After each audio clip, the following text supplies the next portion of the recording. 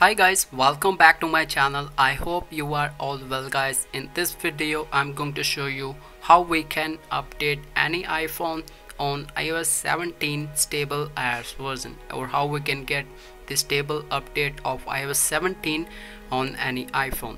So currently in this video i'm using my iphone xr you can use any of the iphone you are having the process for all the iPhones will be the same.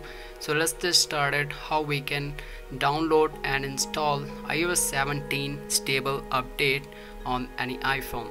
So firstly let me show you the software version that I'm using on my iPhone. So if you are using iOS 17 developer beta or public beta or you need to move your iphone from the developer beta to stable update.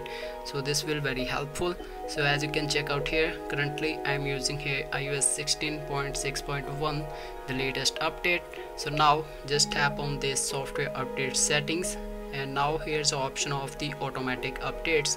Just tap on this option and firstly enable all the three options right here. After that now tap on this beta updates. And here you will see there's option of iOS 17 public beta iOS 17 developer beta.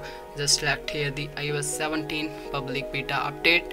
And you can check out here this is the iOS 17 RC update. So iOS 17 RC update is very similar to the stable update. So rc update and stable update are both the same. You can download and install any of the one from this one.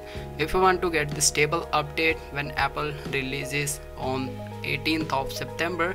So you can also get the stable update just by simply tapping on this beta updates and click on this turn this option off. So now when Apple releases iOS 17 stable update you will receive the stable update here in the software update settings. Now back up your iPhone completely and after creating a strong backup on your device now restart your device and hit on this software updates and click on this software update settings and you can easily get the stable update on 18th of September when Apple releases iOS 17 stable update. So this is the way you can easily download and install iOS 17 stable update on any of the iPhone. I hope you like this video. Make sure you also share this video with your friends. So I will see you in the next video. So guys thanks for watching.